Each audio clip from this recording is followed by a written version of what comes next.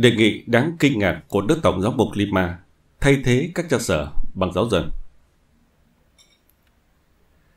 Đức Tổng giám mục Lima đã trình bày với tòa thánh đề xuất thay thế các cha sở bằng anh chị em giáo dân tại các giáo xứ ở thủ đô Peru.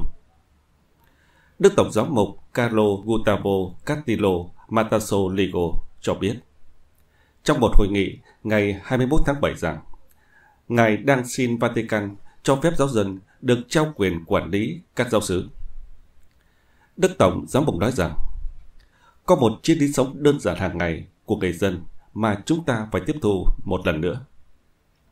Tôi nghĩ rằng với tư cách là một giáo hội, chúng ta sẽ phải làm việc chăm chỉ hơn để đưa giáo hội đến gần hơn với mọi người trong một sự bình đẳng lớn hơn.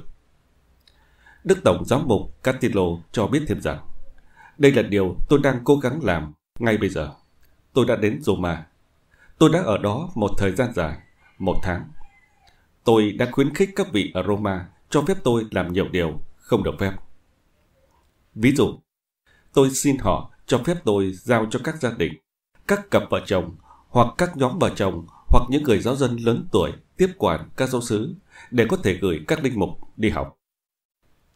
Đức Tổng Giám mục Lima đề xuất rằng giáo dân có thể đóng vai trò là cha sở hoặc người đứng đầu ở nhà thờ giáo xứ, giữ cho các cộng đồng hoạt động trong khi các giám mục đến châu Âu du học. Ở châu Âu, có rất nhiều điều khác trong các nhà thờ Paris. Chẳng hạn, giáo dân đã đứng lên và điều hành, và họ giữ cho cộng đồng tiếp tục hoạt động mà không cần đến các linh mục. Sau đó, có một linh mục cử hành thánh lễ cho họ mỗi tuần một lần hoặc hai lần vào Chúa Nhật. Chúng ta phải nghĩ ra những cách thức bình đẳng hơn, gần gũi hơn với người dân. Đức Tổng giám mục Castillo nhấn mạnh thêm rằng đây là điều mà tính đồng nghị muốn đề cập đến. Chính Đức Tổng giám mục Castillo cũng thừa nhận rằng đề nghị này của ngài trái với giáo luật. Giáo luật 575 triệt 2 định nghĩa Giáo sứ là cộng đoàn Kitô hữu nhất định được thiết lập cách bền vững trong giáo hội địa phương mà trách nhiệm phục vụ được ủy thác cho cha sở như là chủ trang riêng của giáo sư ấy dưới quyền giám mục giáo phận.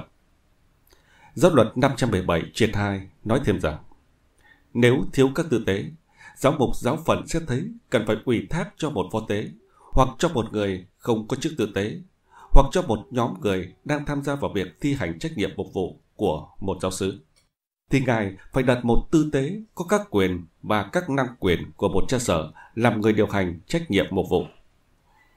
Năm 2019, Tổng giáo phận Lima báo cáo có 487 linh mục, trong đó 206 vị là linh mục triều và 124 là linh mục dòng.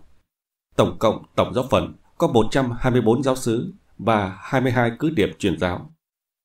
Với con số 487 linh mục trên và 146 nhà thờ, tức là bình quân 3.3 vị trong một giáo sứ hay một cứ điểm truyền giáo. Đề xuất thay cha sở bằng anh sở, chị sở để các linh mục có thể đi du học là một đề xuất không hợp lý. Theo Việt Catholic News, ngày 18 tháng 8 năm 2021,